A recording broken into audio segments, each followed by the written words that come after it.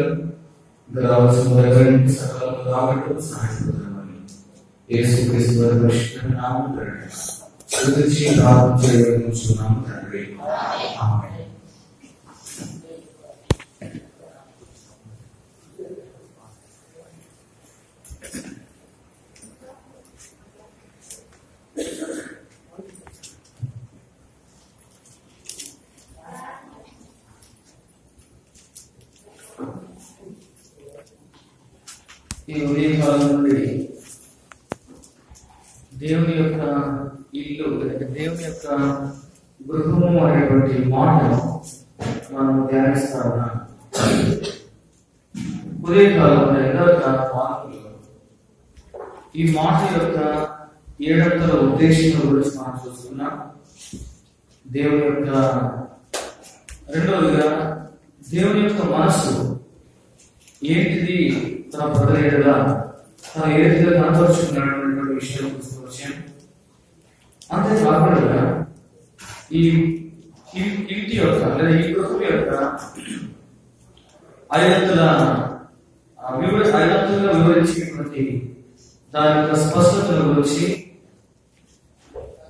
మనం కొన్ని విషయాలు మనం చూడ చూడగలుగుతాం సహాయపడ్డాడు సరే ఇప్పుడు ఒక మాట మనం గమనిస్తున్నాము ఇందాక సాయంత్రం మనం చెప్పుకున్నాం పౌరు వస్తువులు కొద్ది సంఘాలతో మేము దేవుని జతపడిన వాడము మీరు దేవుని గృహంలో ఉన్నారు అని ఈ మాట చెప్పుట్లో ఉద్దేశము తన పిలుపు విషయమై తనకు సంపూర్ణ నిశ్చయత కలిగిన వాడై సంఘాన్ని కూడా ఆ రీతిగా హెచ్చరిస్తున్నాడు ఆ రీతిగా ప్రోత్సాహపరుచుకున్నాడు అనేటువంటి సంగతులు మనం చూస్తూ వచ్చాం.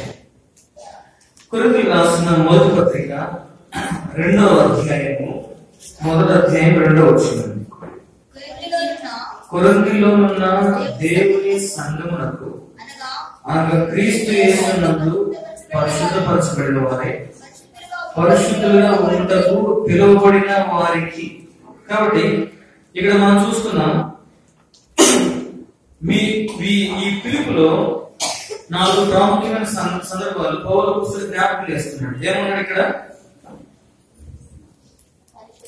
పరిశుద్ధపరచబడిన వారై పరిశుద్ధులుగా ఉండుటకు పిలువబడిన వారికి వారికి మనకును ప్రభువుగా ఉన్న మన ప్రభు అయిన యేసు క్రీస్తు నామన ప్రతి స్థలంలో ప్రార్థించు వారికి శుభమని చెప్పి వ్రాయబడి ఈ కొరంది సంఘానికి ఈ లేఖ రాసేటప్పుడే అక్కడ జ్ఞాపకం చేయబడుతున్న మాట ఏంటంటే పరిశుద్ధులుగా ఉండే కొరకే పిలువబడ్డారు.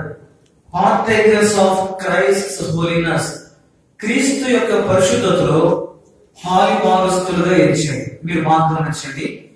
ఇట్టి బలహీనమైనటువంటి ఈ సంఘము ఎన్నో లోపాలు జరిగినటువంటి ఈ సంఘాన్ని పౌరపోస్తుడు ఈ సంఘం యొక్క విశిష్టతను గురించి రాసేటప్పుడు ఇక్కడ మాట గమనిస్తే అసలు వాస్తవానికి ఎలాంటి తీర్మానంతో వారు బయటకు వచ్చారు అంటే క్రీస్తు యొక్క పరిశుద్ధతలో మేము పాలిభాగస్తులుగా ఉండాలి అన్న గొప్ప తీర్మానంతో వచ్చారు. తర్వాత రెండవది రెండవ వచనంలోనే అక్కడ చూడండి మరొకసారి. కొరిందిలో ఉన్న మొదట దీని రెండవ వచనం. కొరిందిలో ఉన్న దేవుని సంఘములకు అనగా క్రీస్తునందు పరిశుద్ధపరచబడిన వారి పరిశుద్ధులుగా ఉండటకు పిలువబడిన వారికి వారికి మనకును ప్రభువుగా ఉన్న మన ప్రభు అయిన యేసు క్రీస్తు. ఆ మాట గమనించండి. వారికి మనకును ప్రభువుగా ఉన్న మన ప్రభు అయిన యేసు క్రీస్తు. ఇప్పుడు వారికి మనకును ప్రభువుగా ఉన్న ప్రభు అయిన యేసు క్రీస్తు. అక్నాలజ్మెంట్ విత్ క్రైస్ట్ ఇక్కడ చూస్తే క్రీస్తు యేసులో లేదంటే ప్రభు క్రీస్తులో వారు ఏ రీతిగా గుర్తించబడుతున్నారు అనే మాట చూస్తున్నాం. ఆ మాట బాగా గమనించండి. వారికి మనకును ప్రభువుగా ఉన్న మన ప్రభు యేసు క్రీస్తు. మన క్రీస్తు మనకి ఎలా ఉన్నాడు అంటే ప్రభువుగా ఉన్నాడు. అక్నాలజ్మెంట్ ఆఫ్ లార్డ్షిప్ ప్రభువు లేదంటే అర్థం కావడానికి క్రీస్తు మనకి ఎలా ఉన్నాడు? ప్రభువుగా ఉన్నాడు అనేది గుర్తించబడింది. మూడవదిగా తొమ్మిదవ వచ్చిన చూస్తున్నా. మొదటి కొరకు మొదటి అధ్యాయం తొమ్మిదవ వచ్చిన మన ప్రభు యేసు క్రీస్తు తన కుమారుని సహవాసం మిమ్మల్ని పిలిచిన వాడు క్రీస్తు యేసు యొక్క సహవాసంలో మనము సంతోషించినట్లుగా చూస్తున్నాము.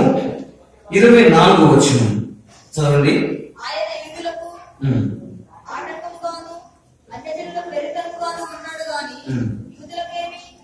ఆక్రమణ పిలువబడిన వారికి క్రీస్తు దేవుని శక్తియు దేవుని జ్ఞానము.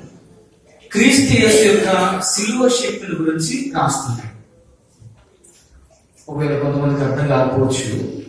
ఈ నాలుగు విషయాలు మళ్ళీ గమనిస్తాను. చూడండి. మొదటి గురించి మొదటి అధ్యాయం రెండో వచ్చింది మీరు పిలువబడినటువంటి పిలుపు ఎలాంటిది అంటే పరిశుద్ధులుగా ఉండేదాని కొరకై పిలువబడ్డారు. ఇదేం జ్ఞాపకం చేయబడుతుంది? క్రీస్తు యేసు యొక్క పరిశుద్ధతలో కొరింతి సంఘము పాలిభాగము తీసుకుంది.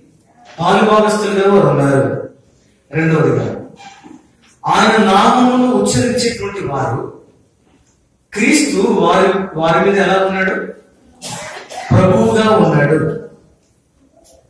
మూడవదిగా పిలువబడినటువంటి వారు క్రీస్తు యొక్క సహవాసములో ఆనందిస్తా ఉన్నారు.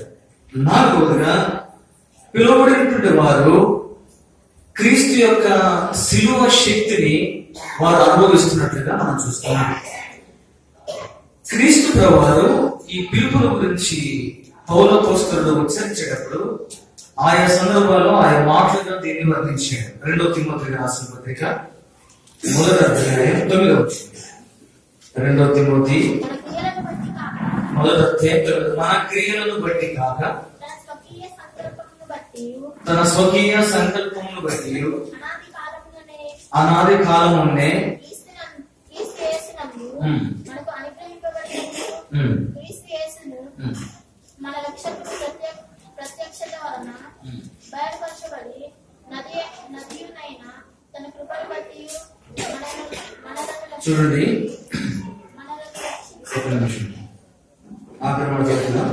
మనలను రక్షించి. పరిశుద్ధమైన పిలుపుతో ఆయన మనల్ని పిలిచిన. ఎలా పిలిచాడంట? లేదా ఆయన పిలుపు ఎలాంటిది పరిశుద్ధమైన పిలుపు. ఇట్స్ హోలీ కాలింగ్ పరిశుద్ధమైన పిలుపు. పరిశుద్ధమైన పిలుపుతో పిలిచాడు. అంటే ఎలాంటి లోపం లేకుండా పిలిచాడు. రెండవ పేరు మొదటి అధ్యాయం మనం చూసాం. కాక నా ప్రియ సహోదరులారా మీ పిలుపును ఏర్పాటును నిశ్చయం చేసుకున్నటకు మరి జాగ్రత్త పడి పరిశుద్ధమైన పిలుపుతో పిలిచాడు. ఆ పిలుపును ఏర్పాటు నిశ్చయం చేసుకునే విషయంలో జాగ్రత్త పడాలి. ఎఫ్ఎస్సి రాసిన పత్రిక నాలుగో అధ్యాయం. ఎఫ్ఎస్సి నాలుగో అధ్యాయం రెండో వచ్చింది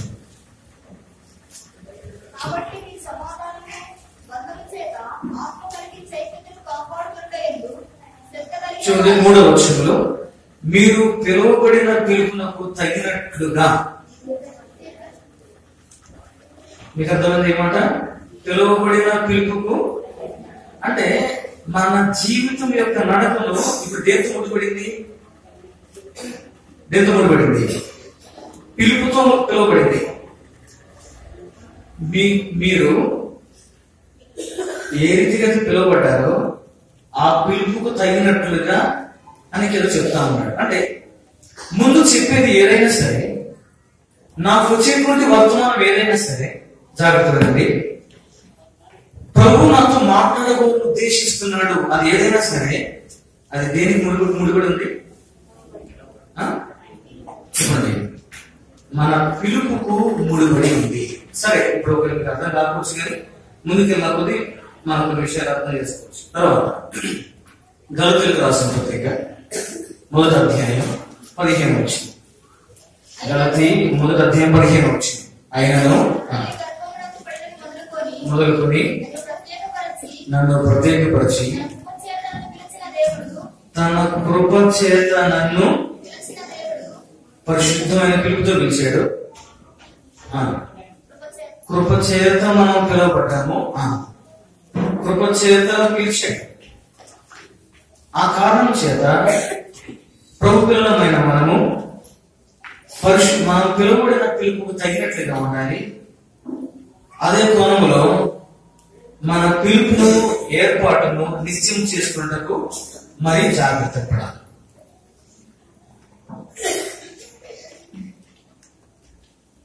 విశ్వాసి క్రీస్తును అంగీకరించిన తర్వాత ఎందుకు పడిపోతాడు?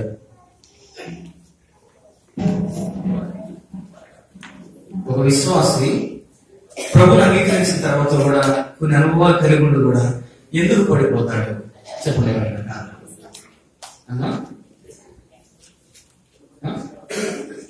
మీకు తెలిసింది చెప్పండి. అసలు మేము ఎప్పుడు పడిపోలేదు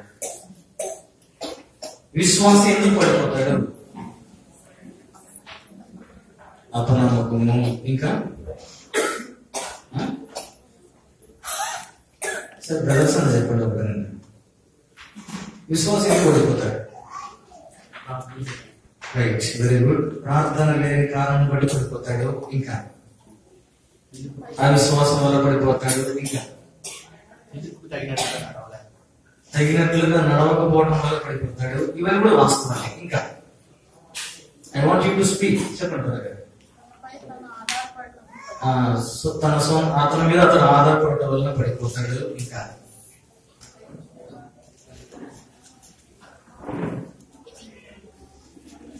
ఇంకెందుకు పడిపోతాడమ్మా? కొన్ని బైబిల్లో పడిపోయిన వాళ్ళు కదా వాళ్ళని జ్ఞాపకం అమ్మా? గట్టిగా చెప్పాలి. ఎవరి మాట వినక సరైన గ్రహింపు లేక పడిపోతాడు. ఇంకా వెరీ గుడ్. లోకాశలు లోకాశలు బట్టి పడిపోతాడు. Very good. ఇంకా. నాకు చాలా వర్తమానం చెప్తున్నారు ఇప్పుడు మీరు. ఆ, చెప్పండి. పని అప్పగించబడిన పనిని చేయకపోవడం వల్ల పడిపోతాడు. ఇంకా.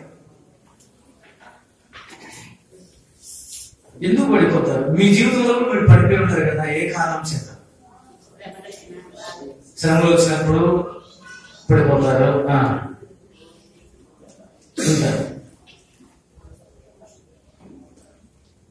అసలు ఏంటో చెప్పరాదంటూ చూస్తున్నాను కదా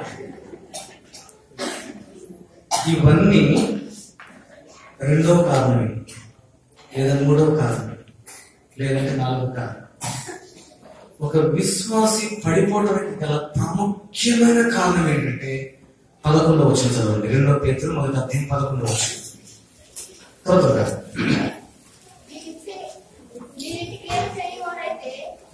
మీరు ఇట్టి క్రియలు చేయువారైతే ఎప్పుడునూ తొట్టిల్లరు. ఏ క్రియలు? మళ్ళీ చదవండి.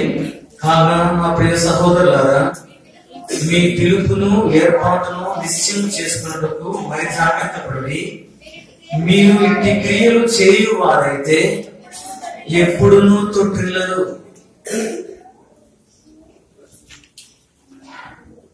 సహోదర సహోదరి విశ్వాస జీవితంలో ఓటమి ఎందుకు అంటే ఇప్పుడు మీరు చెప్పిన కారణాలన్నీ కూడా ఇది staking the second or some other place ఒక విశ్వాసి తొట్టిల్లడానికి గల ప్రాముఖ్యమైన కారణం ఏంటంటే తన పిలుపులో తాను తన పిలుపు తన ఏర్పాటును నిశ్చయం చేసుకోలేక. ప్రతి సంవత్సరం డిసెంబర్ ముప్పై ఒకటి తారీఖున ఒప్పుకోలు ప్రార్థన ఉంటుంది.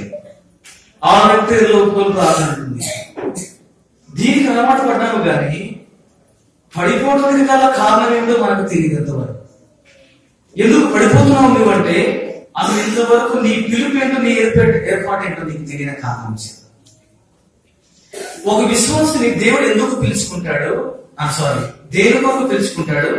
ఒక విశ్వాస పట్ల ప్రభుకున్న ఏర్పాటు ఏంటి అనేది ఎలా బయలుపరుస్తాడు అంటే కేవలం ప్రభు దగ్గర కనిపెట్టడం ద్వారానే బయలుపరుస్తాడు.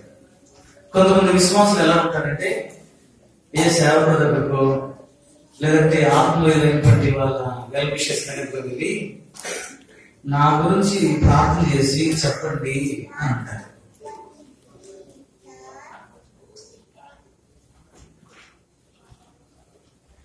ఇప్పుడు జ్యోతిషుల దగ్గర పోతే ఏంటి?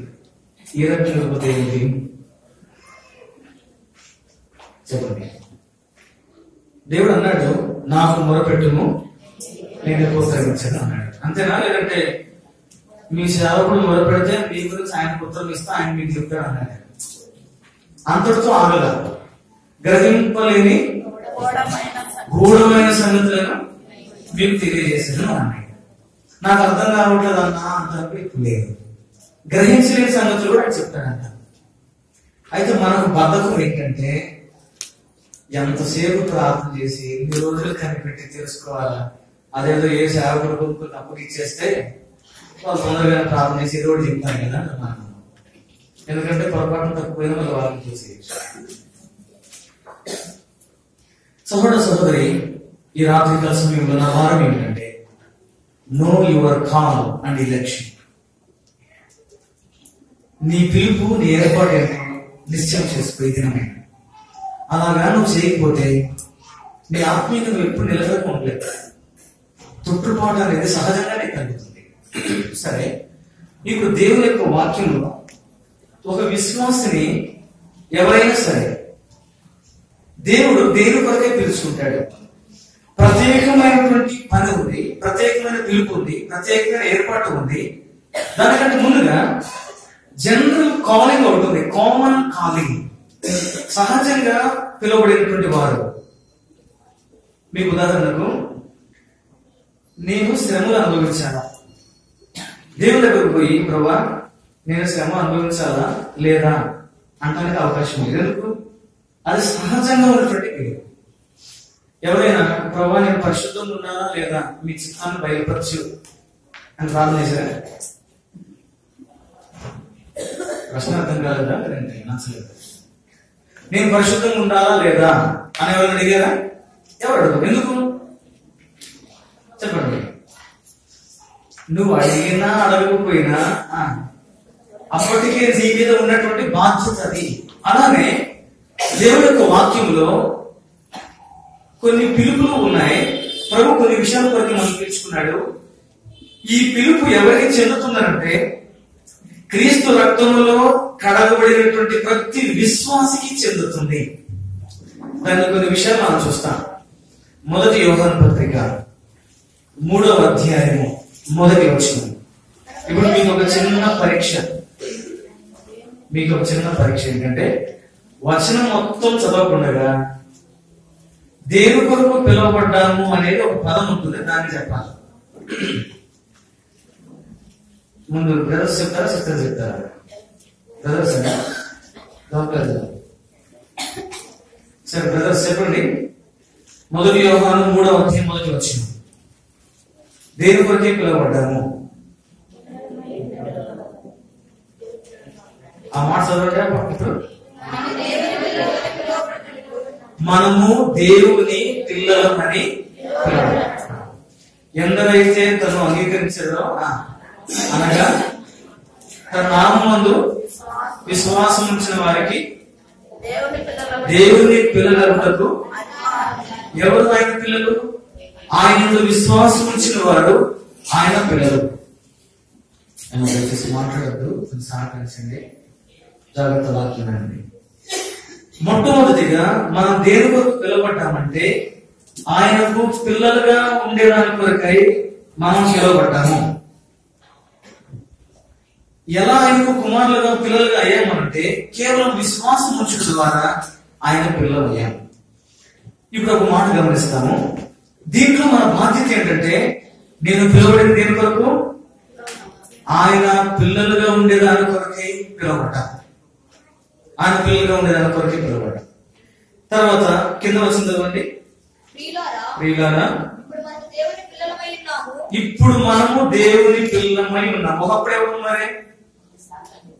తిరుగుబాటు చేయబడిన తిరుగుబాటు చేసిన పిల్లలము. విశ్వాసము లేని పిల్లలము చాలా ఉన్నాయి బైబిల్లో మన గురించి చెప్తారు చదువుకుంటే మాకు రాత్రి నిద్ర కూడా పట్టదు. అలాంటి దౌర్భాగ్యమైనటువంటి పరిస్థితి మనది. అయితే ఇప్పుడు దేవుడి పిల్లలమై ఉన్నాము. మీరు గమనించాలా మన పిలుపేంటో చూస్తున్నాము. ఆ పిలుపు బాధ్యత కూడా దాని ప్రక్కనే ఉంది. చదవండి ఇప్పుడు. మనం ఇప్పుడు దేవుని పిల్లలమై ఉన్నాము. అంటే అర్థం ఏమిటి? ఇంక ఏమవుదుమో అని అంటే ఏదో అవుతాము అని అర్థం. ఇక్కడే పాతుకుపోతానని కాదు. మనం ఏమవుదుమో? తర్వాత ప్రత్యక్షపరచబడలేదు కానీ ఆయన ఏంటంట? ఆయన ప్రత్యక్షమైనప్పుడు ఆయన ఆయన ఉన్నట్లుగానే ఆయనను చూతుము గనక ఆయనను పోలి ఉందుమని ఎరుగుదుము. ఇప్పుడు చెప్పండి. మనం దేని కొరకు పిలువబడ్డాం?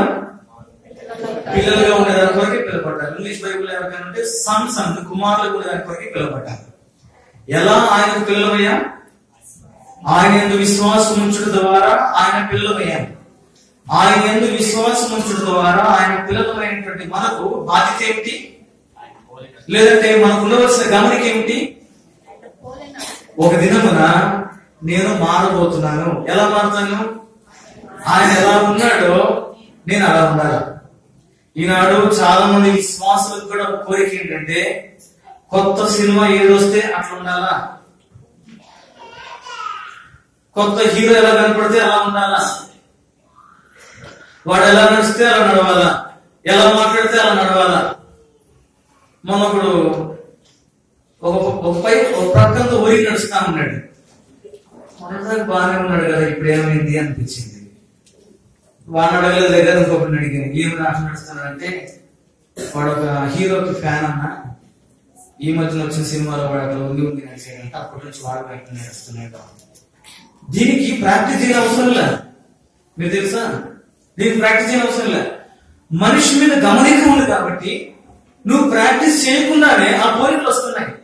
అది కాదు ప్రభు కోరే అది కాదు ప్రభు కోరే తల్లిదండ్రులు కూడా కొంతమంది ఇద్దరు భార్య భర్తలు కొట్టుకోరు అంటే కొడుకు నా నాలంటాడు కూతురు ఇలాంటిది. They try to divide them like this లేదా పిల్లలు కూడా అనుకుంటారు అమ్మ మీద వాళ్ళకి ఇష్టం నాన్న మీద వాళ్ళకి ఇష్టం అయితే నాది ఫలానా కోరిక సార్ ఇది సహజమైన సంగతి అయితే ప్రతి విశ్వాసం ఉండవలసిన దృక్పథం ఏంటంటే నేను విశ్వాసము ద్వారా దేవుని పిల్లలుగా కుమారుడిగా నేను చేయబడ్డాను. నా దృక్పథం ఏమిటి? నా తలంపంత ఏముండాలి అంటే ఒక దినమున నేను ఆయన వల్లే అవుతాను. ఇది తలంచుకున్నప్పుడు ఆ హృదయంలో ఒక సిద్ధపాటు కలుగుతుంది. ఇది తలంచుకున్నప్పుడు ఆ హృదయంలో ఒక ప్రోత్సాహం నీకు నీకు కలుగుతుంది. ఈ విల్ ఎంకరేజ్ యువర్ సెల్స్ నేను ఆయన పిల్లలను ఆయన ఆయన కుమారులను కుమార్తెను ఒక దినమున ఆయన ఉన్నట్లుగా నేను చూస్తాను. ఎంత సంతోషకరమైనటువంటి సందర్భం. అంతేకాదు మలాకి గ్రంథంలో ఒక మాట లేదు కానీ ఆయన మా తండ్రిని మీరు చెప్పుకుంటారు కదా. ఆ, ఆయన మీకు తండ్రి అయితే ఆయనకు రావాల్సిన ఘనత ఏంటి అంటే కుమారుడికి ఉన్నటువంటి బాధ్యత ఏమిటి ఇప్పుడు? తన తండ్రిని గణపరచాలి అన్ని విషయాల్లో తన తండ్రిని గణపరచాలి ఏ విషయంలో కూడా తన గురించి తాను చెప్పుకోడు. ఏ ఘనత వచ్చినా సరే ప్రభుకే తన ఘనత అంతా కూడా. ఆయనను మాత్రమే గణపరచుట ప్రియమైన సహోదర సహోదరి ఇంక మీరు తర్వాత ఈ దీన్ని బట్టి మీరు ఇంకా ధ్యానించుకోవచ్చు. ఒక కుమార్తెలో ఉన్నటువంటి నేను నాకు ఉండవలసినటువంటి నా దృక్పథం ఏమై ఉండాలి? నేను ఎలా మారాలి?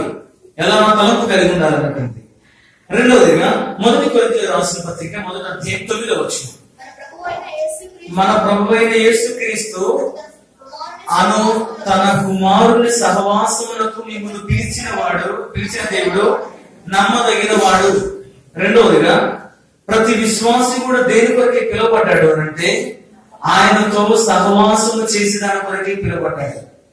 యోహన్ భక్తుడు పత్రికలు రాసేటప్పుడు మాట్లాడాడు మా సహవాసం అయితే తండ్రితోనూ ఆయన కుమారుడైన యేసుక్రీస్తుతోనూ ఉన్నది అంటే అర్థం ఏమిటి?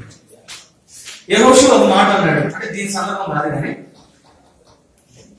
నీ నీ మేమైతే నేనైతే అసలు ఏంటది? మీరు ఎవరు సేవించదురో? సేవించండి ఆ. నేను నా ఇంటి వారును. ఇక్కడ స్పష్టత ఉంది కొంచెం. నేనును నా ఇంటి వారిని ఎహోవాను సేవించదు అంటే అర్థం ఏంటి? మేము తీర్మానం కలుగున్నాం మరి మీ విషయం ఏంటి అని అర్థం. యోహన్ భక్తుడు అంటే మొదటి యోహన్ పత్రిక మొదటి మొదటి రెండు మూడు వర్షాల్లో మా సహవాసం అయితే అంటే అర్థం ఏంటి? మీ సహవాసం ఎవరితో ఉంది? అర్థం. మా సహవాసం అయితే తండ్రితోనూ ఆయన కుమారుడైన యేసుక్రీస్తు ఎవరితో సహవాసం చేయాలా? ఫస్ట్గా ప్రభుతో సహవాసం చేయాలి? బైబిల్లో కొన్ని ఉన్నాయి ప్రత్యేకంగా రాయి ఉంటాయి ఎవరితో సహవాసం చేయకూడదు అనడానికి చెప్పండి. ఎవరితో సహవాసం చేయకూడదా? తుండరులతో సహవాసం చేయకూడదు వెరీ గుడ్. ఇహలోక ఆ, సరే ఈ లోక లోకంతో స్నేహం చేయకూడదు సరే సహవాసం చేయకూడదు ఇంకా. సామెత గ్రంథం చదివితే తెలుస్తాయి కదా? కోప చిత్తులతో కూడా సహవాసం చెబుతారు ఎవరికైనా బాగా కోపం కొంతమంది కోపం ఎక్కువ ఉంటే భలే చెప్తారు. నాకు భలే కోపం అంటారు. అది పెద్ద పుణ్యకార్యం అన్నట్టు. ఆ, సామెతలకు మాట ఉంది. తిండి పోతులతో కూడా సహవాసం చెబుతుందంట. ఉందా లేదా?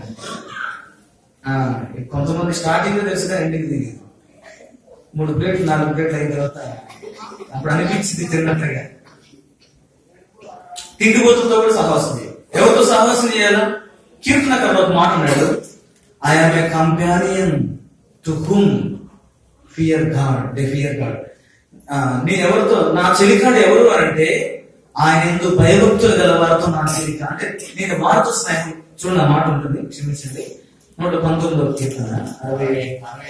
అరవై రెండో వచ్చింది నూట పంతొమ్మిదో కీర్తన అరవై రెండో వచ్చింది నిధులను బట్టి ఆ. నీకు కృతజ్ఞతాస్తుతులు చెల్లించుచున్నా ఆ. అతరాత్రుడు నేను మేల్కొనువాడను. ఆ. నీ యందు భయభక్తి గలవారందరినీ ఆ, నీ యందు భయభక్తులు గల వారి అందరికి నీ ఉపదేశం అనుసరించి నీ ఉపదేశం అనుసరించే వారందరికి నేను ఎవరికి ఫ్రెండ్ అంటే నీ అందు భయభక్తులు గల వారికి నేను స్నేహితులను. తర్వాత ఇంకో మాట ఏమన్నాడు? నీ ఉపదేశములు అనుసరించే వారికి నేను చెలికాడు సహోదర సహోదరి ఈనాడు నువ్వు ఎవరితో సహవాసం చేస్తున్నావు?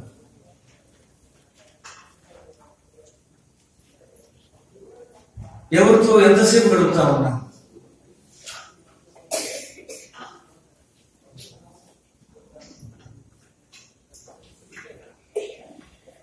ఒక విధంగా సంతోషంగా చెప్పొచ్చు ఏంటంటే చాలా సందర్భాల్లో సేవకు రాకుండా సంగతి చెప్తున్నాం అంటే సేవకు వచ్చినప్పుడు లేని రాస్తాం సేవకు రాకముందు మేము కొంతమంది యవనస్తులుగా ఉండేవాళ్ళం. రాత్రి భోజనం అయిపోయిన తర్వాత కుటుంబ ప్రార్థన అయిన తర్వాత పది గంటలకు ప్రార్థనకు మోకరించేవాళ్ళు. ప్రార్థన అంతా అయిపోయిన తర్వాత పడుకుందామని సమయం చూసేసరికి నాలుగు ఐదు అయ్యాయి. తెల్లవారుజామున. ఊరికినట్లా ఆనుకునే వాళ్ళం. ఈ లోపు మన ఆరు గంటలకి ఫ్యామిలీ ప్రేయర్ ఉండేది ఫ్యామిలీ ప్రేయర్ అయిపోయిన తర్వాత ఎవరి పనులు వారి ఎవరి బాధ్యతలు వారి. ఒక మాట చెప్తాను ఏంటంటే అలాంటి ప్రభుత్వం అలాంటి సహవాసం చేసినటువంటి ఆ దినాల్లో అసలు నిద్ర లేదే అన్న ఫీలింగ్ కూడా ఎక్కడ కలగలేదు. నిద్ర లేకపోతే కలిగేటువంటి ఇబ్బంది కూడా ఏం కలగలేదు. జోర్డాన్ సి ఖాన్ అనేటువంటి ఒక గొప్ప దైవజనుడు ఉన్నాడు. భక్తుల సంఘమే ప్రభుని శరీరం అనే పాట రాసింది కూడా ఆయన. ఇంకా వేరే పాట కూడా రాశాడు. ఆ, అది బహుశా తెలుగులో పడుతుంది అనుకుంటా ఇంకేదో ఆయన క్యాలిఫోర్న్ వెళ్ళినప్పుడు ప్రభుని ఆరాధించుదామని చెప్పి ఒక సహోదరి ఎంచుకున్నట్టు ఒక దేవుని రాస్తుంది ముందు నువ్వు చేయి తర్వాత నేను చేస్తానంటే ఆయన ఆదికాండం మనకు వర్తమానం చెప్తే ఆరాధన వస్తుంది సహజంగా. అని మన ఆత్మీయత కదా? ఆ రోజు ఏమనంటే మహా అంటే పది పదిహేను నిమిషాలు చేశాడంట. ఆదికాండ ప్రకటన గ్రంథంలో అన్ని పదాలు అయిపోయినాయి ముగించేసి. జోర్డన్ ఖాన్ గారు ఆరాధన అందుకున్నాడు. తెల్లవారి తొమ్మిది అయిందంట. ప్రార్థన కాదు. కేవలము ఆరాధన. తెల్లవారి తొమ్మిది అయితే తట్టాడంట ఇవి. ఈయన అప్పటికే పడుకొని లేచి పడుకొని లేచి మూడు మూడు టన్నులు అయితే ఆయనతో పడుకున్నటువంటి సేవకుడు. తట్టాడంట తట్టితే సమయం చూపిస్తే తొమ్మిది ఉంది. మన పది గంటలకి కాన్వకేషన్ స్టార్ట్ అవుతుంది ప్రభుత్వం అన్నాడంట ప్రభా ఇంకా ఆరాధించాలని ఉంది కానీ సమయం లేక వెళ్ళిపోతున్నా మరలా వస్తానని చెప్పాడు. ఎవరు ఆరాధించగలరు అంటే ప్రభుత్వ సహవాసం చేసేవాడు ఆరాధించగలరు. ఆరాధన అంటే ఏంటి? ఆయన గుణ లక్షణాలను ప్రచురం చేయడం ఆయన గుణం ఎవరికి తెలుస్తుంది? ఎంత సహవాసం చేస్తావో అన్ని విషయాలు బయటపడతాయి. దూరంలో చూస్తే నీకేం తెలియదు ఆనందం ఎందుకు బలవంతం అవుతుంది? ప్రార్థన ఎందుకు బలమవుతుందా అవుతుందంటే అంత సహవాసం లేదు. చాలా మందికి ఉదయం బైబిల్ చదువుకునేదాన్ని చదువుకున్నారంటే చదువుకోలేదండి ఏమంటే టైం లేదన్నా అని అంటారు. ఎడిపోతున్న టైము? రాజారావు గారని పెద్ద కాకానీలో ఆయన సేవకుడు పెద్దగా ఫెలోషిప్ ఆయన ప్రభు వెళ్ళిపోయాడు. ఆయన చదువుకుంది ఐదో తరగతి. అరవై ఆరు పుస్తకాల మీద బుక్లు రాశాడు ఆయన. అరవై ఆరు పుస్తకాల మీద పుస్తక వ్యాఖ్యానం రాశాడు కామెంట్రీస్ రాశాడు. ఆయన ఒకసారి మా నాన్నగారు అనుకుంటే బహుశా అంటే మా నాన్న చెప్పారో అడిగారు నాకు తెలియదు కానీ మా నాన్నగారు నాకు చెప్పినటువంటి మాట చెప్తాను.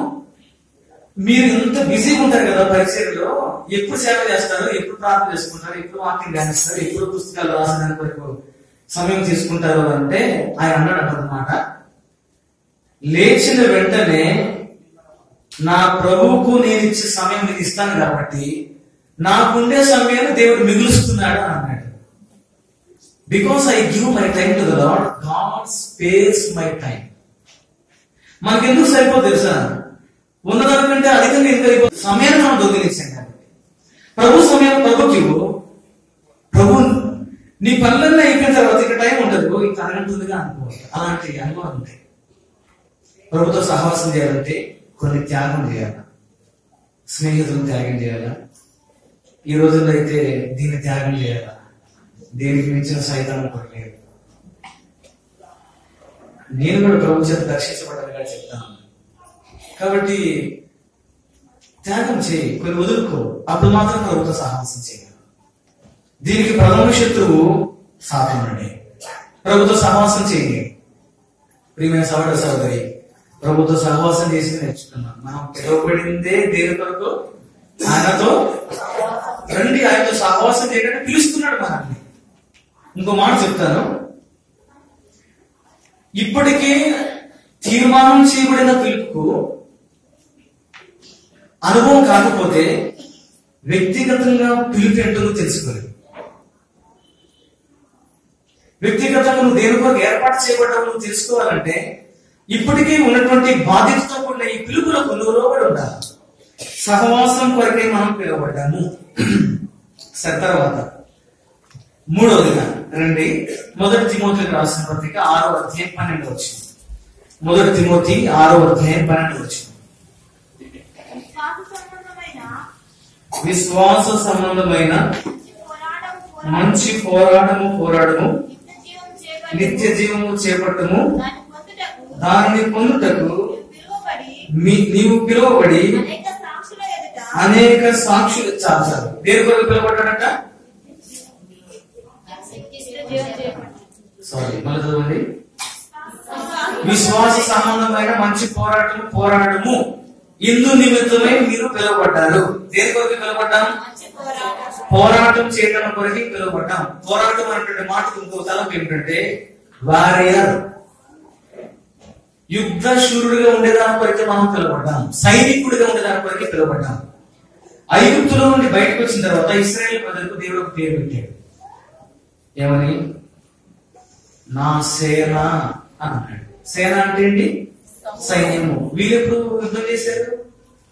తలపు ఏమిటంటే విమోచించబడిన ప్రతి విశ్వాసి కూడా క్రీస్తులు ఎవరు? కదా ఇది వాక్యం విమోచించబడిన ప్రతి విశ్వాసి కూడా ఎవరు? క్రీస్తులో సైనికుడు. సైనికుడు ఏం చేస్తాడు. ఎప్పుడు? సైనికుడు ఏం చేస్తాడు? ఎప్పుడు సిద్ధంగా ఉంటాడు? దేని కొరకు సిద్ధంగా ఉంటాడు? యుద్ధానికి సిద్ధంగా ఉంటాడు. ఎవరి మీద యుద్ధం చేస్తాడు? శత్రువుల మీద యుద్ధం చేస్తాడు. నీ శత్రులు ఎవరు? నిజంగా సాధన ఎంతమంది లేరు? భూమి మీద మనుషులు శత్రువులు మీకు? యేసుక్రీస్తు ప్రభావిని కొంతమంది కొన్ని మాట్లాడారు తిండిపోతూ అన్నారు. రుజుపరుచుకున్నాడా దయ్యను పట్టిన వాడా అని అన్నారు. నేను దయ్యం పట్టిన వాడినా? చెప్తానే సంగతి అన్నాడా? అన్నాడు. దేవదూషణ చేస్తున్నాడు అన్నారు నిరూపించుకున్నాడా? నీవు దేవుడు అయితే ఆ, కిందకి ఇంకో దొంగ అన్నాడు. నీవు నిన్ను నీవు రక్షించుకుని నన్ను కూడా ఏ ఊరుకు లేదు పలుకు దేవుడు అయితే దిగి రమ్మన్నాడు. దేవుడు కాకపోతే అక్కడ ఉండమని అర్థం. మరి ఏదో దిగి రాలేదు. అంటే ఏం రుజుపరుచుకున్నట్టు అవసరమైతే నేను దేవుడు కాదు అనే మాటకైనా సిద్ధపడ్డాడు కానీ రోషం కక్కల. కారణం ఏమిటంటే ప్రభు ప్రభు పోరాటం అంతా దేని మీద? ఎవరి మీద? సాతానుడే. ఒకసారి యుగురంలో ఒక సహోదరుడు నన్ను తిట్టాడు బాగా. వెళ్ళిన పరుగులకి ఎంత తిట్టాడు అంటే నాకు బాగా అలసిపోయి గేట్ డ్యూటీ చేసుకుంటా చేతి మీద కాలు మీద కాలేసుకుని నిద్రపోతున్నాను మనకు అప్పుడు ఏమి ఇంకా అంట ఎంత అవకాశం ఉన్నా ఆ టైంలో అన్ని పోతాయి. అది కాలు మీద కాలేసుకుని నిద్రపోతా ఉంటే చెంప మీద పట్టించేసి ఒక అతను అంటే గట్టిగా కొట్టలేదు ఆ మెలకు వచ్చినట్టుగా పెట్టి ఎందుకు వచ్చారు సేవకి ఒక పెద్ద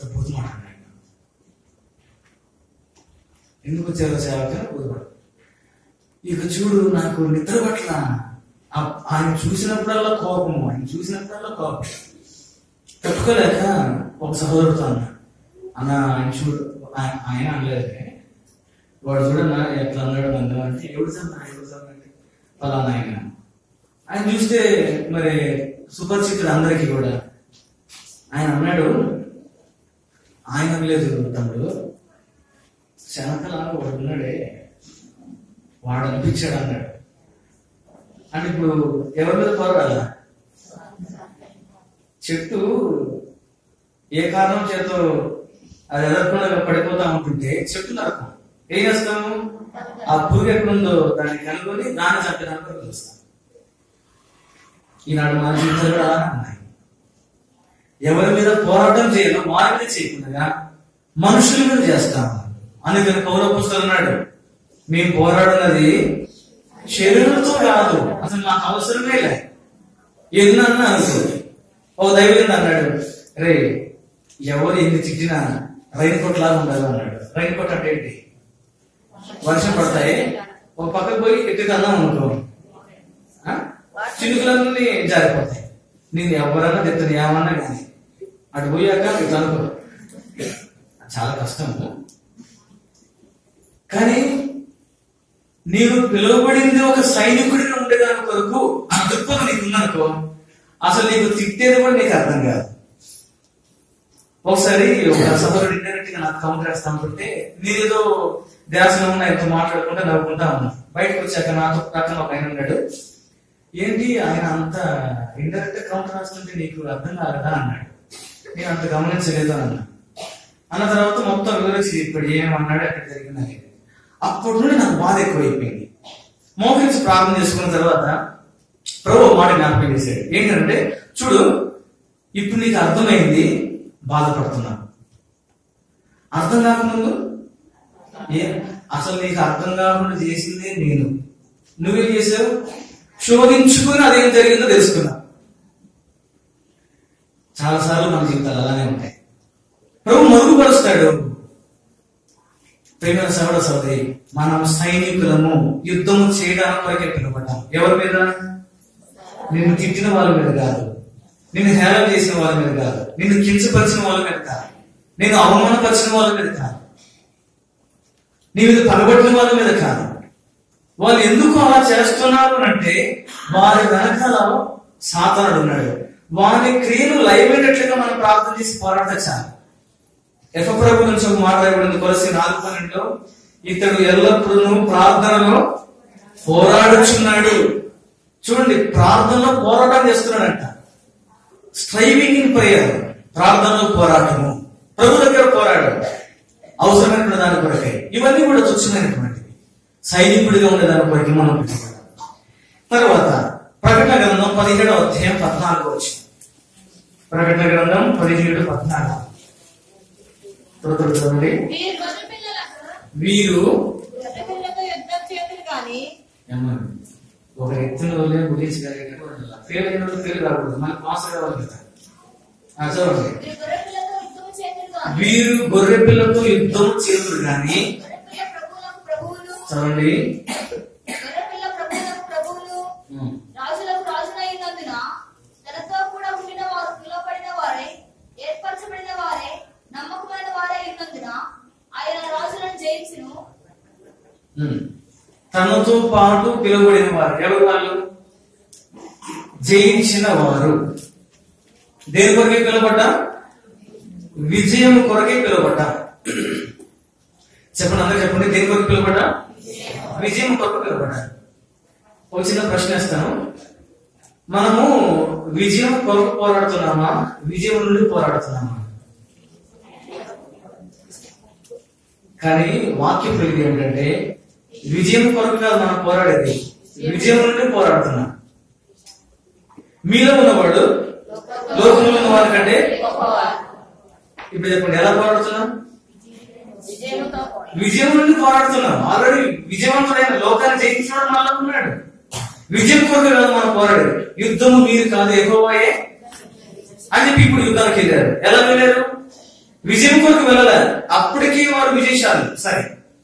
దేవుని వాక్యం మీరు నివసించుతున్నది కనుక మీరు బలవంతులు. మీరు లోకమును జయించి ఉన్నారు అన్నాడు అదేంటిది? జయిస్తారు రాయబడాల? మీరు ఎక్కడైనా చూడండి బైబిల్లో. విజయాన్ని గురించి ప్రస్తావించినప్పుడు జయించి ఉన్నారు. విజయశాలులు అన్నట్లుగా రాశారు. కారణం ఏమిటంటే దేవుడు మనల్ని విజయం కొరకు పోరాడేటట్లుగా చేయలేదు. ఎలా చేశాడు? విజయం నుండి మనం పోరాడుతున్నాం. గొలియతున్నాడు ఎదురుగా. దావిదు ఉన్నాడు. సరే అక్కడ సంభాషణ మనకు తెలుసు. దావిదు అన్న మాట ఏమిటి? నువ్వు ప్రతి ఏడబడుతూ వస్తున్నావు నేను. ఎక్కువ నామమున వస్తున్నానని చెప్పాడు. దేవుడు నామమును బట్టి వస్తున్నా అని చెప్పాడు. రాయి వేశాడు బోర్ల కొట్టాడు ఆ తర్వాత తల నరికాడు తీసుకుని వెళ్ళిపోయాడు. ఇప్పుడు చెప్పండి. విజయం కొరకు కాదు పోరాడింది విజయం నుండి పోరాడాడు. విజయం కొరకు పోరాడవాడు ఎలా ఉంటాడు అంటే భయపడతా ఉంటాడు. విజయం వచ్చిందా రాదా? విజయం వచ్చిందా రాదా విజయం నుండి పోరాడవాడు ఎలా పోరాడతాడంటే ఏమన్నా కానీ విజయం నాదే అని నిశ్చింతంగా పోరాడతాడు. సహోదర సహోదరి మనము ఇప్పటికీ విజయవంతులము. ఇప్పటికీ విజయవంతుని పిల్లలము. విజయం నుండి పోరాడుతున్నామే గాని విజయం కొరకు మనం పోరాడలేదు తర్వాత ఇంకా దేని కొరకు పిలువబడ్డాము మొదటి పేదలు రాసిన పత్రిక రెండవ అధ్యాయం పదవచ్చు ఇరవై వచ్చు మొదటి పేదలు రెండు ఇరవై. మొదటి పేదలు రెండు ఇరవై. అమ్మా. త- ఆ, తప్పిదమునకును ఎప్పటి తిరిగినప్పుడు చదవండి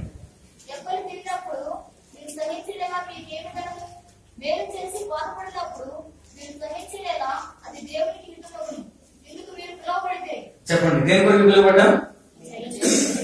దేని కొరకు మేలు చేసి కీడు బా ఆ బాధ అనుభవించిన కొరకు పిలువబడ్డాం మనకి ఎంత బాధ కదా. కొన్నిసార్లు చెప్పుకుంటారు కూడా పంచుకుంటారు. అన్న ఎంత మేలు చేసాను వాడు ఎంత కీడు చేశాడన్న ఎంత పిచ్చోళ్ళు మనం. అసలు మనం పిలబడింది దేని కొరకు? మేలు చేసి ఆ, బాధ అనుభవించడానికి కొరకే మనం పిలువబడ్డారు ఒకసారి ఒక సహోదరుడు నేను లేనప్పుడు నన్ను ఒక మాట అన్నాడు. నేను వచ్చిన తర్వాత నాకు చెప్పారు. అన్నా నిన్ను పలానా అన్నాడు అంటే వాళ్ళు చెప్పే తీరికే నాకు ఇక నాకు కూడా చాలా టెంపర్ పెరిగిపోయింది. సరే నెక్స్ట్ రోజు ప్లాన్ వేసుకున్నాం ఆయన నలుగురు పోయి అడగాలి అని. నేను ఒక నలుగురు బ్రదర్స్ కలుసుకున్నాం. కలుసుకున్న తర్వాత వెళ్తా వెళ్తా ఎందుకు అనిపించింది? అక్కడ ఉన్నటువంటి ఒక సోదరుడు పెద్ద ఆయన ఉన్నాడు. ఆయన చెప్పి వెళ్తే బాగుంటుంది. తర్వాత ఏమైనా ఆయన చూసుకుంటాడు కదా అని. ఆయన దగ్గర వెళ్ళిన తర్వాత అంతా విన్నాడు. రెండు నిమిషాలు కళ్ళు మూసుకుని అన్నాడు ఉచితంగా వచ్చే ధన్యతను భలే సులభంగా పోగొట్టుకుంటున్నావే అన్నాడు. యేసు ప్రభు ఏమన్నాడు నా నిమిత్తం జనులు మిమ్మల్ని లెంఘించి హింసించి అబద్ధంగా చెడ్డ మాట పలుకున్నప్పుడల్లా మీరు ధన్యత ఫ్రీగా వస్తుందా ఖర్చు పెడితే వస్తుంది మరి ఎందుకు పోగొట్టుకుంటారు? అది ఆత్మీయమైన గుడ్డు ఉంది విలువ తెలియదు నేను ధన్యుడిని అవుతున్నాను నాకు ఒక బహుమానం పెరుగుతుందన్న సత్యం మనకి ఎరగట్లేదు. సహోదర సహోదరి సహించడానికి మనం పిలువబడ్డాము సహించడానికి కొరకు పిలువబడ్డాము ఆ, ఈయన ఉన్నాడు కదా పురుషోత్తం చౌదరి గారు. ఆంధ్ర క్రైస్తవ కీర్తనలు అధిక సంఖ్యలో రాసినటువంటి దాసుడు. ఆయన మన ఆంధ్ర రాష్ట్రానికి వచ్చి కూడా సేవ చేశాడు. ఒక సందర్భం గురించి చెప్తాను నేను. ఆయన సేవ చేసుకుంటూ చేసుకుంటూ చేసుకుంటూ ఒక దగ్గరికి వెళ్ళి ఉదయాన్నే ఒక ఇంటికి సువార్త పంచడానికి ఒక ఇంటికి వెళ్ళిన తర్వాత కొంచెం ఆహారం ఉంటే పెట్టండి అని అడిగాడంట. అని అడిగితే ఆ ఇంట్లో ఉన్న ఆవిడ అప్పటికే సర్దిపోయినటువంటి ఆ పులిహార తీసుకొచ్చి ఏంటది బయట? పశువుల దొడ్డి. దాంట్లో పోసింది. దాంట్లో ఆ పోసిందంట. పురుషోత్తం చౌదరి గారు ఆ పుస్తకం చదవండి. చాలా బాగుంటుంది. పురుషోత్తం చౌదరి గారు ఏం చేశాడు? ప్రార్థన చేసుకున్నాడు. సంతోషం తిన్నాడు. ఇంకా రావాలా? అంటే ఇంకా కావాలన్నాడంట అలా కొట్టించింది అదే దాంట్లోనే పశువు తినేటువంటి ఆ తొట్టిలో. తిన్నాడు. తిన్న తర్వాత మోకరించి ఆ ఇంటిని ఆశ్రయించి వెళ్ళిపోతున్నాడు. కొంత దూరం వెళ్ళిపోయిన తర్వాత ఎవరైతే అన్నం పెట్టారో ఆవిడ గుండె పగిలిపోయి ఏ మనుషుడైనా ఏ దేవుడిని సేవిస్తున్నాడు ఈ మనుషుడు? ఎందుకు ఇంతగా సహించగలిగాడు? ఎక్కడిది మనస్సు? అలా వచ్చి ప్రాధేయపడి కాలం మీద పడి ఏడుస్తున్నాడు అయ్యా నేనే నీ భార్యను అని. నేనే నీ భార్యను. అప్పటికే భార్య ఈయన ప్రభులు అంగీకరించిన కాలం భార్య వదిలేసింది. ఈయన ప్రభుల గురించి ప్రకటించుకుంటూ వెళ్ళిపోయాడు. కొంత కొన్ని సంవత్సరాల తర్వాత మళ్ళా వస్తే భార్య గుర్తుపట్టింది. ఈయన గుర్తుపట్టలేదు. భార్య గుర్తుపట్టి ఇలా చేసిన తర్వాత ఒకటి ఈ మనుషులు ఎక్కడా కూడా చింతపడకుండా ప్రార్థన చేసుకుని మంచిగా తిన్నాడు. ప్రియమైన సహన సహోదరి నీ సహనం వలన ఇతరులు ప్రభు ప్రభులోకి వస్తాడు అది గుర్తుపెట్టుకో. సహించడం చాలా కష్టమే. చాలా కష్టమే. అది ప్రభు దగ్గర మనం నేర్చుకున్నాం ప్రభు దగ్గర నేర్చుకున్నాం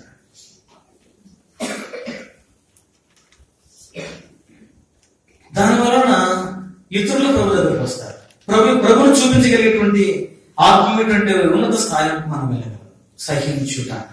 బైబిల్లో సహించిన ఒక ఒక- అతను ఉన్నాడు. ఎవరతను? అంటే చాలా మంది సహించాడు ఆయన సహనం గురించి రాయబడింది ఎవరతను? ఆ? యోగు యోగు సహనం గురించి మీరు ఆలోచన గ్రహించి ఆ, కదా? యాభై పత్రిక బహుశా. కాబట్టి ఎంతగా సహించాడు అని అంటే దేవుడు ఏం చేసినా సహించాడు. ఆఖరికి ఇంకెవడు? స్నేహితుల ద్వారా వచ్చినా సహించాడు. ఇంకా తట్టుకోలేని విషయం ఏంటంటే కట్టుకున్న భార్య వచ్చి కూడా ఏమండి దేవుని దూషించి అంటే నువ్వు వేరే పెళ్ళి చేసుకున్నావు అనుకుంది ఇంకో విషయం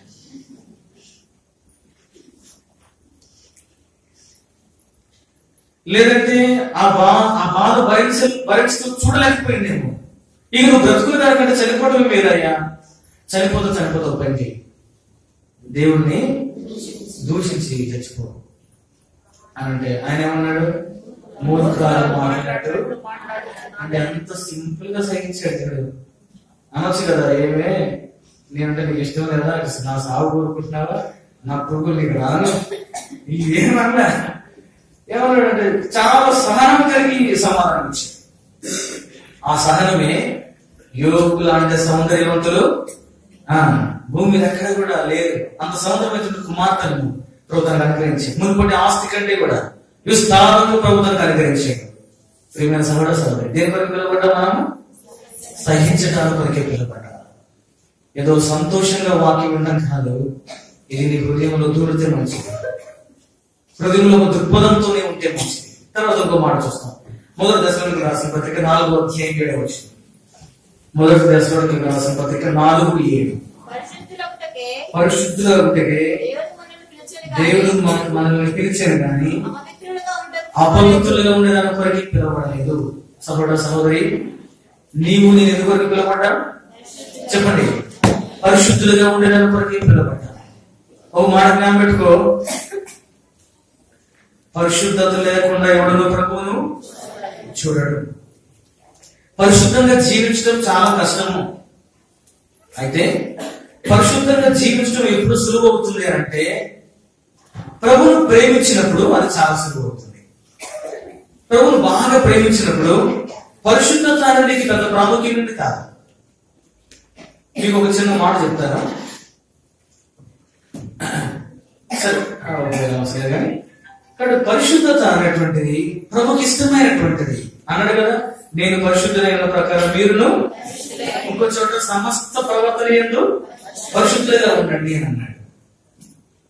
ప్రభుకు పరిశుద్ధత అంటే చాలా ఇష్టము. దేని ద్వారా పరిశుద్ధపరచబడుతున్నాం? రక్తము ద్వారా పరిశుద్ధపరచబడ్డా. రెండవది వాక్యము ద్వారా పరిశుద్ధపరచబడ్డా. మూడవది విశ్వాసము ద్వారా పరిశుద్ధపరచబడ్డా. నాలుగవది దేవుని ఆత్మ ద్వారా పరిశుద్ధపరచబడ్డాం ఐదవది దేవుని మాటకు విధేయత చూపించడం ద్వారా పరిశుద్ధత కలుగుతుంది. ఐదు అంగాల పరిశుద్ధత. సరే మీద రేపు దానికి వాక్యం చూపిస్తాను కానీ మొట్టమొదటిగా రక్తము ద్వారా పరిశుద్ధత. అందరికీ కలిగింది పరిశుద్ధత. రెండవదిగా ఒక వ్యక్తి పరిశుద్ధంగా ఉండాలంటే నీటి ద్వారా పరిశుద్ధత అవుతుంది. అనగా దేవుని యొక్క వాక్యము ద్వారా పరిశుద్ధత. మూడవది మూడవది విశ్వాసము ద్వారా పరిశుద్ధత. నాలుగవది? నాలుగవది? దేవుని ఆత్మ ద్వారా పరిశుద్ధత. ఐదవదిగా? దేవుని విధేయత ద్వారా ఎంతగా వింటారో అంతగా పరిశుద్ధపరచబడతారు. ఎంత విధేయత చూపిస్తారో అంతగా పరిశుద్ధపరచబడతారు. పరిశుద్ధంగా ఉండేదాని కొరకే మనం పిలవబడ్డాము. ప్రార్థన చేసుకుంటాం ప్రభా ఏ మూలన కూడా నా నేను అపవిత్రపరచబడకుండా నాకు సహాయం పరిశుద్ధతను ఇష్టపడడం దానివల్ల అనేకమైన కార్యక్రమాలు చూడగలం. ఒక వ్యక్తి అన్నాడు డిఎల్ మోడీ గారు అనుకుంటా పరిశుద్ధతను మెయింటైన్ చేసేటువంటి వారి ముఖం అంట ఇతరులు చూడలేరంట. మీకు అర్థమైందా? కొంతమంది చెప్తుంటే కదా నేను బక్సింగ్ గారి ముఖం కొన్నిసార్లు డైరెక్ట్ చూ- చూడలేకపోయేవారంట. ఎందువరకు not because is the leader for example హెబ్రోన్కి నాయకుడిగా ప్రభు ఇచ్చినందుకు కాదు. దేని బట్టి? ఆయన ముఖంలో పరిశుద్ధత అలా అలా అలా కొట్టొచ్చినట్లుగా ఉండేది సహోదర సోదరి సంఘం అంతా కూడా ఇలాంటి పరిశుద్ధతలో ఉంటే అబ్బా అది ఏం సంఘం ఇంకా అసలు ఇక్కడ ఎందుకుంటాము పరిపూర్ణమైన సౌందర్యం కలిగిందంటే ప్రభు ఏం చేస్తాడు? దీన్ని ఎవరు దొంగిలించకముందే నేను తీసుకుంటాను తీసుకుంటాను. మన అందరం హాస్పిటల్లో ఉన్నాం ఇప్పుడు. హాస్పిటల్ ఎవరు ఉంటారు? డాక్టర్లా. పేషెంట్ ఉంటామా పేషెంట్ ఉంటారు పేషెంట్ ఇంటికి ఎప్పుడు పోతాడు? అనారోగ్యం అంతా తగ్గిన తర్వాత ఇంకా హాస్పిటల్లోనే ఉన్నాడంటే అర్థం ఏంటి అవునా ఇంకా తగ్గలేదని అర్థం పేషెంట్లు ఎక్కువ అవుతున్నారంటే అర్థం ఏంటి? ఒక రోగం ఒక అంటున్నారు. అర్థం ఒక ఒకటి అంటున్నారు అర్థం ఇది వాస్తవమే. మనం ఈ లోకంలో ఉన్నాము. నా కార్యము పరిపూర్ణం చేయబడ్డప్పుడు నేను ప్రభు దగ్గరికి వెళ్ళిపోతాను? ఈ పరిశుద్ధతను ముగించుకునేటువంటి పోరాటంలో మనం ఉంటే మంచిది.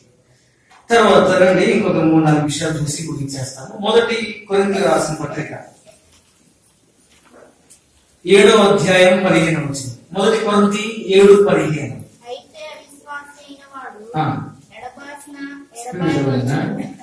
అట్టి సందర్భములలో సహోదరికైనను సహోదరికైనను నిర్బంధము లేదు. సమాధానంగా ఉండటకు దేవుడు మనల్ని పిలిచి అందరూ ఒకసారి చదవండి. కొంచెం నిద్రపోతాము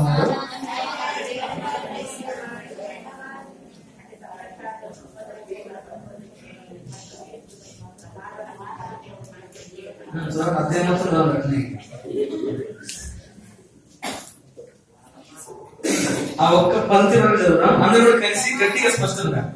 సమానంగా ఉండేందుకు దేవుడు మనల్ని పిలిచి ఉన్నాడు? దేవుడు ఎందుకు పిలిచాడంట? సమాధానంలో ఉండే దాని కొరకే పిలిచాడు.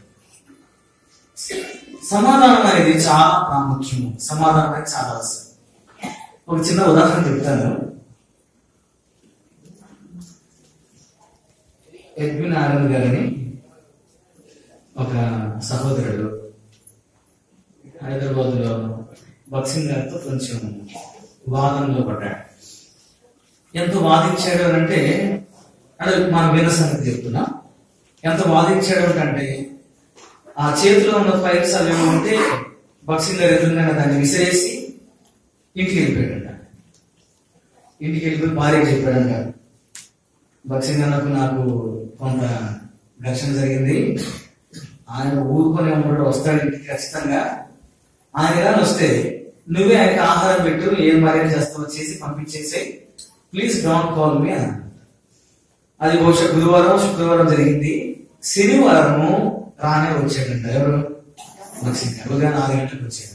ఆరు గంటలకు వచ్చి డోర్ దగ్గర అప్పుడు ఈయన గుర్తించి అనుకుంట ఆయన అనుకుంటా తలుపు తీసి ప్రార్థన చేయించుకుని పంపి నేను రాను పిలవద్దు అని సీరియస్ వెళ్ళిపోయాడు. ఇప్పుడు బక్సింగ్ గారు వచ్చి కూర్చున్నాడు. ఈమె భయం వేస్తుంది. ఈయన రాడు అని చెప్పి తగిన ఎవరికంటే లక్ష్యంగా గారి దగ్గర ఆమె భయపడకుండా కూర్చుండిపోయింది ఏ భయం చెప్పింది? మర్యాద పూర్వకంగా నీళ్ళు ఇస్తే తీసుకోవాలంట. I don't come for water అన్నాడు ఇంకా చెమట పడిపోతున్నాయి. తర్వాత ఆవిడ చెప్పిందంట brother he's not fine so you please pray and go అని చెప్పలేక యూ ప్లీజ్ ప్రే అని చెప్పి అంటే ప్రార్థన ఇచ్చిందంటే Bakht Singh I have come for him ఆయన కొరకి నేను వచ్చాను. ఈయనకి ఇంకా అయిపోయింది. తొమ్మిది గంటలకు బ్రేక్ఫాస్ట్ తీసుకొని వచ్చింది. వాళ్ళ కూతురు చెప్తుంటే ఒక సహోదరుతో నేను నిన్న సంగతి చెప్తున్నాను. బ్రేక్ఫాస్ట్ తీసుకొని వస్తే మళ్ళీ అదే మాట అంట I not come for breakfast breakfast మాకు రాలేదు నేను. I have come for your husband for my prayer నా సహోదరు కొరకు నేను వచ్చాను. ఈయనకు లోపల నుండి ఇంకా కోపం అవుతుంది ఈయన వచ్చింది కాక నీళ్ళిస్తే నీళ్ళిస్తే నీళ్ళు నీళ్ళు తీసుకోడు. టిఫిన్ పెడితే టిఫిన్ తినడం వీడికి ఇంకా కోపం వస్తుంది. ఒంటి గంట అయిందంట. నీళ్ళు లేవు భోజనం లేదు. ఐదైందంట ఆరైందంట సాయంకాలం. పన్నెండు గంటలు అయిపోయింది. భక్సింగ్ గారి భారం ఏంటంటే రేపు ఆదివారము రొట్టె విరవాలా నాన్న తప్పు తల్లి తప్పు మొత్తానికి అయితే మేము అసమాధానంగా ఉన్నాము. I cannot break the bread నేను రొట్టెలు విరవలేను పాల్గొనలేను పరిచయం చేయలేను వాళ్ళతో సమాధానం పడాలి. చివరికి ఎనిమిది గంటలకు వచ్చాడంట. ఎనిమిది గంటలకు రూమ్ నుండి ఎలా వచ్చాడంటే ఒక రోషంతో వచ్చాడంట. బక్సింగ్ వెంటనే లేచి గట్టిగా హత్తుకొని బ్రదర్ ఐఎమ్ వెరీ సారీ అని గట్టి క్యాకేశాడు ఆ కేకకు ఈ మనుషులు కుప్పకూలిపోయి బ్రదర్ మీరు నాకు సారీ చెప్తే ఏంటి? Why should you ask for forgiveness I am very sorry I am very sorry I am very sorry అని వాయి ఒకటే ఏడవటం ఒకటే ఏడవటం it's all right it's all right అన్న తర్వాత అప్పుడు కుటుంబ ప్రార్థన చేసుకొని భోజనం చేసిన తర్వాత బక్సింగ్ గారి మళ్ళీ ఇక్కడికి వచ్చి ఈయన తెల్లవారుజామున బక్సింగ్ గారి దగ్గరకు వచ్చి "brother, I wrote a song అనమాట పాట రాశాను. మన పాట పుస్తకాలు దేవా దేవా నీ తలంపులు నా ఎంతో ప్రియము ఎంతో ప్రియము. దేవా నీ తలంపులు నాకు ఎంతో ప్రియము. దేవునికి ఆలోచన నా పాటలంతా కూడా ఎంత చక్కగా ఉంటుందో. నా తలంపు ఏమిటంటే సమాధాన పడేదాని కొరకై అంత గొప్ప దైవజనుడి ప్రాకుపడ్డాడు అంటే ఈనాడు నీవు నేను ఎన్నో కారణాల చేత అసమాధానంతో ఉండి ప్రభుత్వం సేవిస్తాను అది మనకు తగ్గదు కానీ మనం దేని కొరకే పిలువబడ్డామంట? సమాధానం ఉండేదాని కొరకే పిలువబడ్డా. కొలసి రాసిన పత్రిక మూడు పదిహేను. కొలసి మూడు పదిహేను. కొలసి కొలసి మూడు పదిహేన. క్రీస్తు గురించి సమాధానం మీ హృదయములో దేని కొరకు పిలువబడ్డామంట? చెప్పండి. ఒక్క శరీరంలో పిలువబడ్డా. మనమందరం ఎక్కడ ఉన్నాం ఇప్పుడు? ఒక్క శరీరంలో అవయవాలుగా ఉన్నాం. ఉదాహరణకు ఇది అంటే నేను వివరించిన సమయం లేదు. ఈ చేయికి దోమ కొట్టింది అనుకున్నా ఎడమ చేయికి దోమ కొడితే ఇప్పుడు చేయి పోయి మెదడా మెదడా ఎడమ చేయి దోమ కుట్టిందంట. కొట్టనా వద్దా అని అడుగుతుందా అడగకుండా ఏం చేస్తుంది? ఈనాడు ఒకరికొకరు మనం సహకరించలేకపోతున్న కారణం ఏంటంటే we are out of the body of Christ క్రీస్తు శరీరానికి వెలుపట మనం కాళ్ళు ఎప్పుడో ముళ్ళు ఆ రోజంతా లేకుండా మనసులో పడుకున్నాం. అన్ని అవయవాలు స్ట్రైక్ చేసినాయి. కారణం ఏంటి? మా అవయవాలు ఒక అవయవం ఏమైంది? నొప్పిగా ఉంది. We will not do it దాని ప్రకారం దాని ప్రక్కన పెట్టి చేయము కాదు. అసలు చేయలేము కూడా. అసలు అలాంటి సిద్ధాంతమే లేదు శరీరంలో. క్రీస్తు యొక్క సంఘములో మనం కూడా అంతే. డెట్రాయిట్ అనేటువంటి ప్లేస్ యుఎస్లో అక్కడ నుండి ఒక అమెరికా అతను కుటుంబం ఆవిడ ఆంటీ అని అంకుల్ వచ్చారు. ఆ యూత్ క్యాంప్ అప్పుడు ఆవిడ పాటలు పడి మన పేరు ఉంది. కొంతకాలం మ్యాగజైన్స్ కూడా రాశాడు జీపీ రావు గారు అనమాట జీపీ రావు గారు. ఆయన ఒక మాట అన్నాడు ఆయన చేసేది సేవ డెట్రాయిట్లో. డెట్రాయిట్ దగ్గర ఒక చిన్న స్థలం ఉందంట. ఆ ప్లేస్లో అంట. పోలీస్ స్టేషన్ లేదంట. పోలీస్ స్టేషన్ ఎందుకు లేదు? దొంగలు లేరు కాబట్టి పోలీసులు లేరు. దొంగలు ఎందుకు లేరు? అందరూ రక్షించబడ్డారు. లేదంటే అందరూ మంచి వాళ్ళు చెప్పుకున్నాను. నాకు తెలియదు. అందరూ మంచి వాళ్ళే రెండోది ఎవరైనా ఇంటి ఊరికి వెళ్తే ఇంటికి తాళం వేసి వెళ్ళరంట ఎందుకు? నాకు తెలిసి అదే చెప్తారండి దొంగలు ఎవరు లేరు అనేది వాస్తవమే. అంతకన్నా అనుకుంటే ఏంటంటే నా ప్రక్కన ఇంటి వారికి ఏదైనా అవసరం ఉంటే తీసుకోవచ్చు. అమ్మా మనకి ఎప్పుడు రావాలి లక్షణం? మనకు రాకూడదు కూడా ఎందుకు తెలుసా? అట్లా అలవాటు కూడా ఉన్నది కూడా దోచేసుకుంటారు అలాంటి వారు కూడా ఉన్నారు విషయం ఇంటికి తాళం లేదంట. తర్వాత పొలం ఎలా దున్నుకుంటారంటే ఈ వీధులు పది ఇళ్ళు ఉన్నాయంటే ఫస్ట్ నీ పొలం దున్నుకో ఈ తొమ్మిది ఇంటి వాళ్ళు సహకరిస్తారంట. ఇంకొక ఇల్లు పొలం దొరుకుంటే మిగతా వాళ్ళు సహకరిస్తారంట. అలాంటిది ఆ ప్లేస్. ఆయన గురించి దాని గురించి చెప్పాడు ఎప్పుడు ఆ సందర్భంలో? ప్రపంచంలో ఇలాంటి ఊరు కూడా ఉందా అనిపించింది. ఆయన అన్నాడు ఒక మాట మెనీ ఆర్ క్రిస్టియన్స్ అన్నాడు. చాలా వరకు క్రైస్తవులు అన్నాడు. అంటే అందరు కాదు. క్రీస్తును అంగీకరించిన వారికి కూడా అదే మనసు ఉంది. నా తలం ఏమిటంటే క్రీస్తును అంగీకరించిన వారికి కూడా అలాంటి మనసు కలిగిన వారికి కలిసిపోయాడే ఏదో తడబడి ఈ సంవత్సరం మనం ఉంటున్నా. ఎందుకు నీకు నాకు ఆ సహకారం లేదు?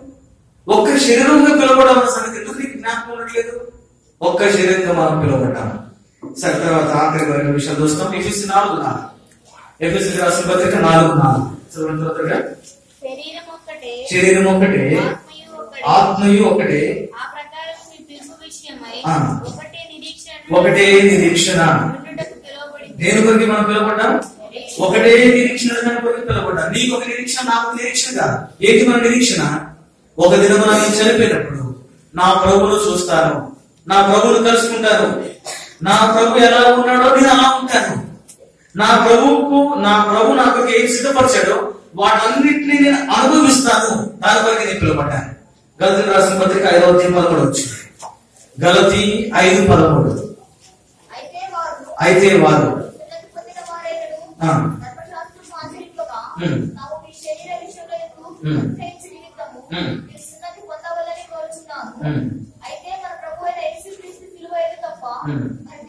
సహోదరులారా మీరు స్వతంత్రులుగా ఉండి సహోదరులారా మీరు స్వతంత్రులుగా ఉండుటకు పిలువబడితే మీరు ఇప్పుడు చూడండి అదొక మాట గమనించాలి ముగిస్తాను. దేని కొరకు పిలువబడ్డాము? స్వతంత్రులుగా ఉండేదాని కొరకు పిలువబడ్డాము.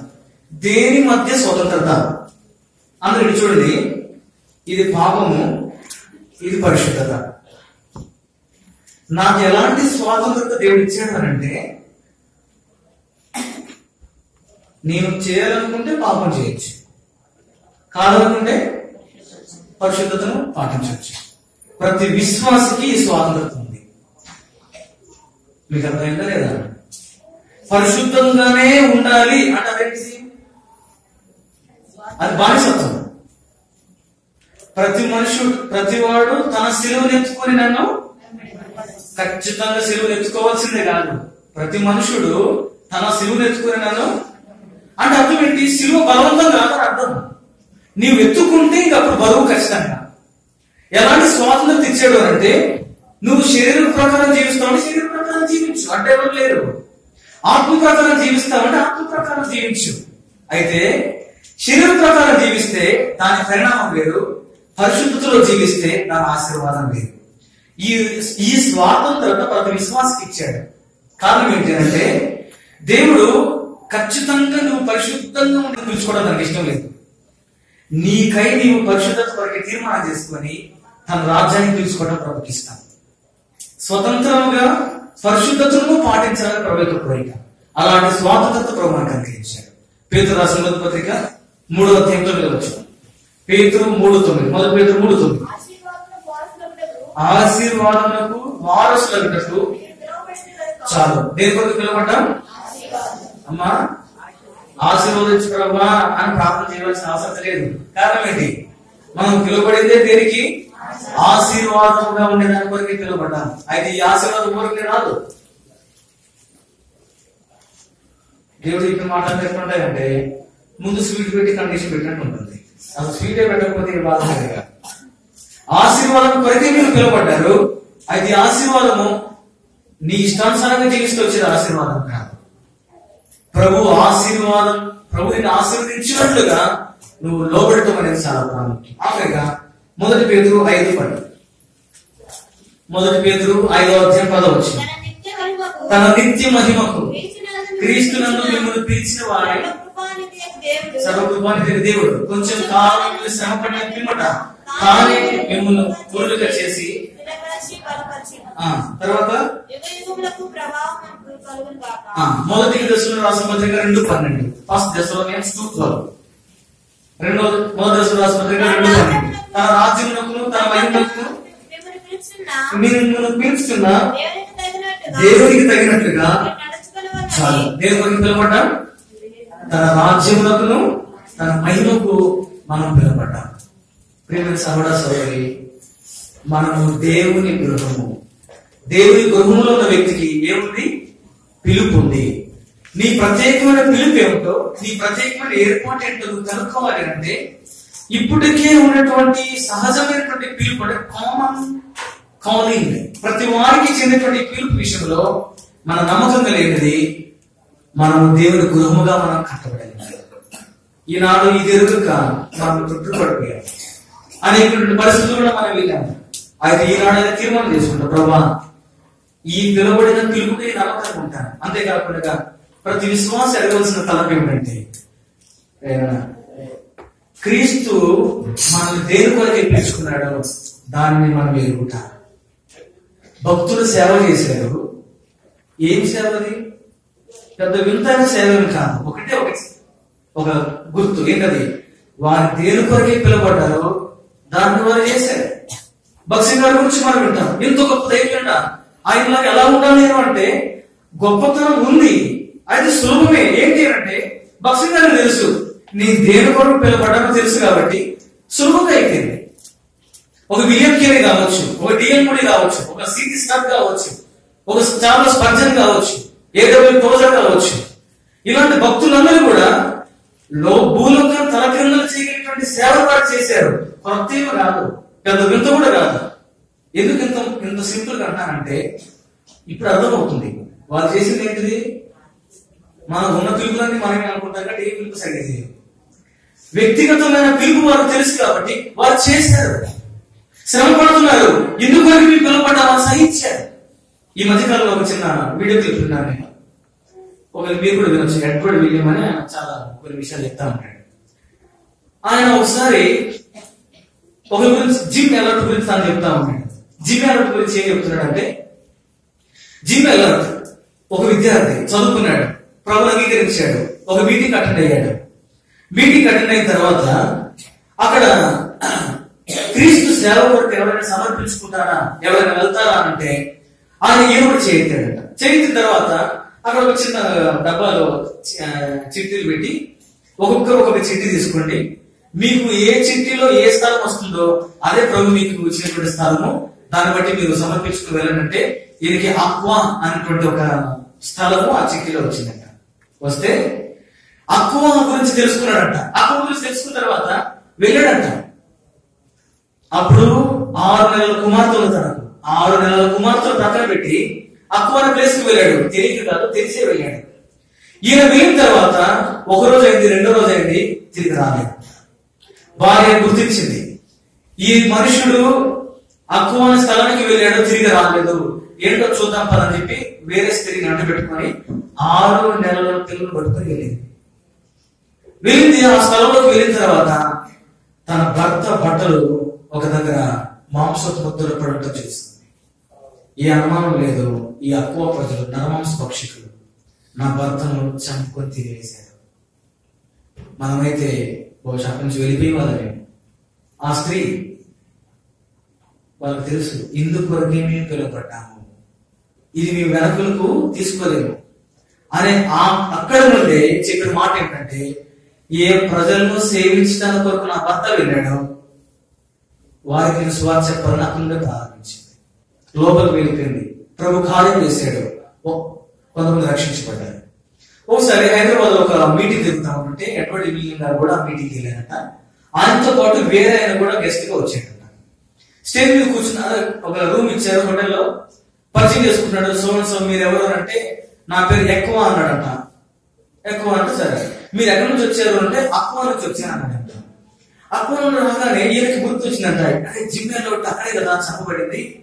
ఆయన గురించి కొన్ని విషయాలు తెలుసుకుంటే బాగుందంటే జిమ్ అన్నట్టు గురించి మీకు తెలుసా? అంటే ఓ ఆయన నాకు చాలా పరిచయస్తుడు నాకు బాగా తెలుసు అన్నాడంట ఎలా మీకు పరిచయం అని అంటే గుండె బద్దలైపోయి సమాధానం చెప్పాడట. ఆయన చంపుకొని తినింది నేనే. పడుకున్న చేతులు కట్టుకుని బయటకు వచ్చి నిల్చున్నాడు నంగాడు ఆ మనిషిని చంపుకున్నదేనే ఆ వీధిలో మా గ్రామంలోకి వస్తా ఉంటుంటే అందరూ రాళ్ళు విసిరారు. నేను వేసిన రాయి తల మీద పడింది. అక్కడ పడిపోయాడు.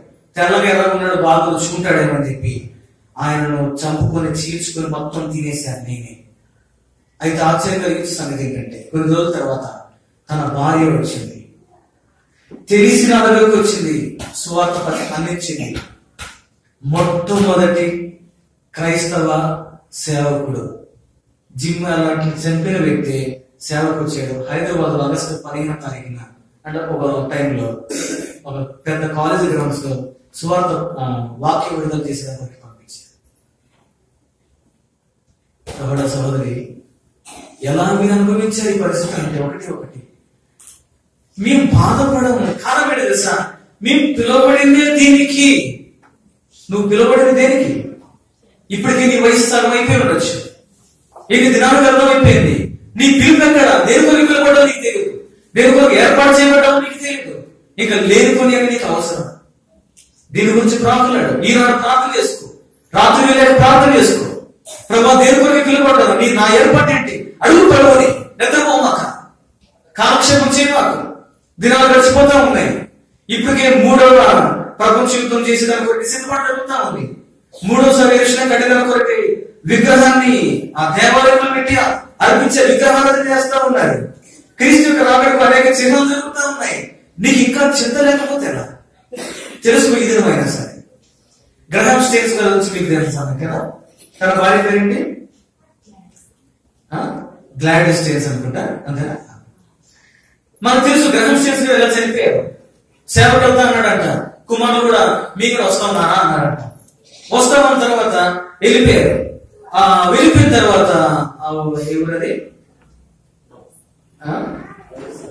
అది ఒడిశాలోనే ఆ గ్రామం. సరే. అక్కడ వెళ్ళిన తర్వాత అర్ధరాత్రి నెల వచ్చారు ఆ పడుకున్న చీప్ మీద పెట్రోల్ పోసారు కాల్చి వేశారు. ఆయన ఆయన బయటకు వచ్చి అన్నాడంట అయ్యా నన్ను చంపండి నా పిల్లలు వదిలేంటంటే వారు నీకన్నా చాలా ప్రమాదకరమైన మనుషులు అన్నారంట. దారా సింగ్ అనేటువంటి వ్యక్తి.